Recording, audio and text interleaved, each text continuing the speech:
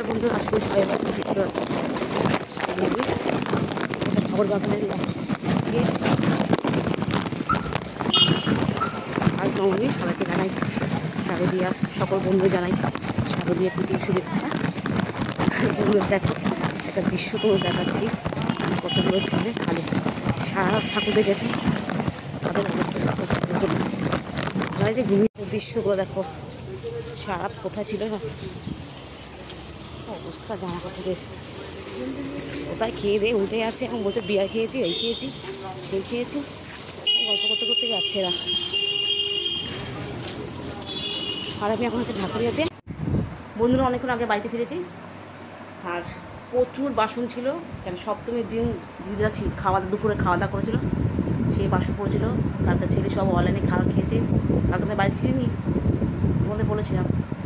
সেই অনলাইনে সমস্ত বাসনপত্র সব, ঘর, দুয়ার, এলোমেলো ছিল। এই সব এসে আমি কিছুটা গুছিয়েছি। আর দিদি আমাকে দিদি আমাকে একটা শাড়ি দিয়ে গেছে, আর ছেলেকে একটা গেঞ্জি দিয়ে গেছে। এই যে আমার ছেলের গেঞ্জি। আর এটা আমাকে ছাপা শাড়ি দিয়ে গেছে। এটা কালকে পরে আমি দশমী করব। আর মাকেও একটা দিয়েছে। আর আমি দিদি আমি যে বাড়িতে কাজ করি, সেই বাড়ি দিদি আমাকে এই ব্যাগটা দিয়েছে। ব্যাগটা নতুন, বেশি দিন ইউজ করেনি। আর কিছু কসমেটিক্স দিয়েছে। দেখাচ্ছি তোমাদেরকে এ দেখো, এই একটা ব্যাগ দিয়েছে নতুন ব্যাগ, এটা পাস দিয়েছে একটা নতুন। এটা সব চুলে মাখার জন্য ভিটামিন কি ওষুধ দিয়েছে। আর এই যে সব আইল, আইলানা। আইলানা বলতে কি, এই মানে কাজল। এতগুলো কাজল, এটা মেকআপ করে করার জন্য দিয়েছে একটা। এটা এটা এটা আগে লাগা, এটা আগে লাগাতে, তারপর এটা লাগাতে হবে। এটা দিদি ইউজ করে না, সবই নতুন। এগুলো ইউজ করেনি বলে আমাকে সব দিয়ে দিয়েছে। পরে তুই সব নিয়ে যা। তুই আর আসার সময় আমি দিদি বাড়ির ফ্ল্যাটের নিচে একটা পাঁঠার মাংসের দোকান আছে তোদের আগেও দেখেছি পাঁচশো পাঁঠার মাংস নিয়ে এসেছি। এটা একবেলার জন্যই রান্না করব। কারণ আমি দুপুরবেলা খেয়ে দিই আমরা আমি ঠাকুর দেখতে বেরিয়ে যাব। আজকে আমার তো ছুটি আজকে আমার ছুটি।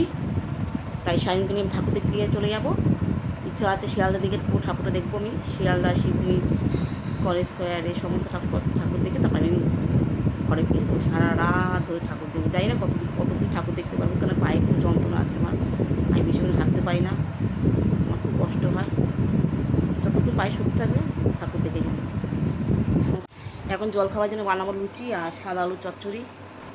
বন্ধুরা, মাংসের জন্য আলু কেটে কেটে ভেজে নিচ্ছি। এটা মাংসের আলু। এটা কেটে, এটা ভেজে, এটা মা সেদ্ধ করে নেব। আর এই উচ্ছে ভাজবো। আর সকালে জল খাওয়া বানিয়েছি। এই আলু চচ্চড়ি আছে আর লুচি। এখনও জল খাওয়া খা- এখনও জল খাওয়া খাইনি, সাড়ে দশটা বাজে এখনও খেতে খেতে পারলাম না। খেতে বসে পড়েছি। আর এখানে উচ্ছে সেদ্ধ এখানে উচ্ছে ভাজা বসিয়ে দিয়েছি। এটা হোক, আস্তে আস্তে ততক্ষণ আমি টিফিনে খেয়ে নিই। এই সায়ন, এই সেই মোবাইল চাই ওর। খাক খাক মানে খেতে পেলেও ওই মোবাইল।